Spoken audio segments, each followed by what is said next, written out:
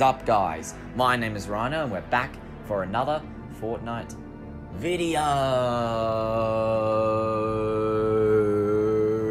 What is up? Wait, I already did that.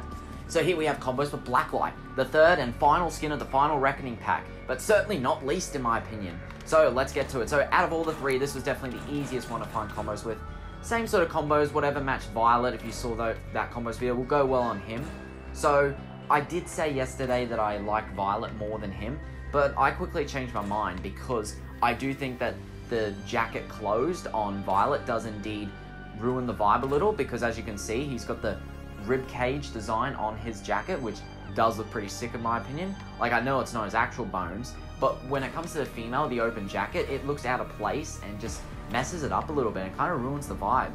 I like how he's all covered. The only bit of skin that's showing is underneath his gloves. But still, and I love the mask too. The mask actually looks cool with the teeth, the way it looks, and the uh, scratches on it. Whereas the female's mask looks kind of cheap, not gonna lie. I'll show you, do a comparison with them uh, right after we get to backblings in. So, not hard to find backblings at all. It's purple, pink, and black, and a little bit of blue actually, because when you look at it from certain angles, it looks a bit more blue, or at least very dark purple. So you could stretch some blue on it. Illusion Rune looks fantastic. I was just using that.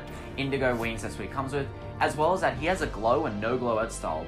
And the no glow art style, the difference is actually pretty noticeable in the dark, because they've changed the lighting where it looks darker in the nighttime. And you can definitely tell the difference between the glow and no glow style in the nighttime. During the daytime, the no glow style tends to pop out a bit more and looks nicer. Well, obviously the glow style is going to look good at night. Now, these are uh, Violet's wings. I do like these ones a little more, but they don't have a no glow edit style. And they are quite bulky. Stitches looks great. You would think that these would come with him. And uh, Indigo, oh, excuse me, uh, Violet would come with the Indigo wings. Because it would kind of make sense because they're called Indigo wings and she's called Violet. And the colors of the rainbow red, orange, yellow, green, blue, indigo, violet. So it would kind of make sense. I'm just saying, and they're just a recolor of the Dustwing, so pretty lazy, the wings. But I do think the skin, it's grown on me a lot. I think it's better than Purple Skull Trooper. I love the way the bones distributed on a diagonal pattern, instead of being all over his body and looking messy, like it does on Skull Trooper. I love this skin. I love the skin a lot. Like, a lot. It's really, really good. I wouldn't say it's as good as Willow, but I think it's better than Katrina. Or maybe it's just as good as Katrina, and those two are probably my least favorite skins of the set. But considering that I still love the skin, shows how amazing this set is. The Final Reckoning, I'm not sleeping on it, guys. You're sleeping on it. The Final Reckoning is the greatest set in this game. Why? Not just because of the skins. The skins are freaking amazing. Chaos Agent, Teef, Jawbreaker, all amazing skins. Blacklight, great. Katrina, great. Willow, amazing. But it's their connections with the storyline. Chaos Agent other than Midas, has become the most important skin to this storyline. Follows through with Midas trilogy, or not trilogy, excuse me, the Midas conflict. Uh, Teef and Chaos Agent are part of their own saga. See, this is the Indigo wings on her. It looks almost better on her than it does on Blacklight, because it's not covering as much as her skeleton. But yeah, it looks kind of small on her. I guess it's a similar problem to have Skull Trooper versus Skull Ranger.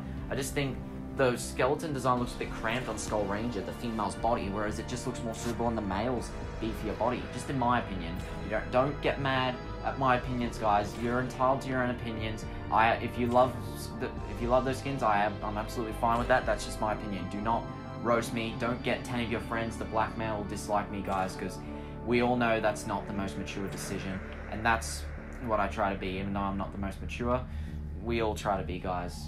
So yeah, I just think that the Final Reckoning's best set, Teef and Jawbreaker, they're part of their own saga. You know, Jawbreaker created Teef.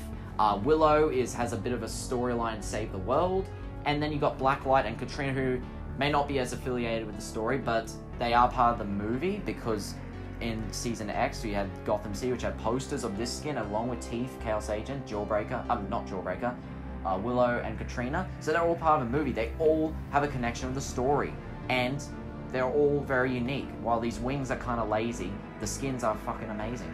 But so yeah, Final Reckoning, do not sleep on it, guys. It's the greatest set in this game. Might not be your favorite set, but it is the greatest set in the game. Or one of the greatest sets in the game, do not lie. But anyway, that's going to wrap up combos for Blacklight and combos for all three Final Reckoning skins. So if you guys enjoyed, let me know the like, comment, subscribe, tell me what you think of this skin. Is it better than Violet? Is it worse than Violet? Why? Why is it worse? Why is it better than Violet? Let me know, and I'll look forward to seeing you guys in the next video. Now take care. Bye bye.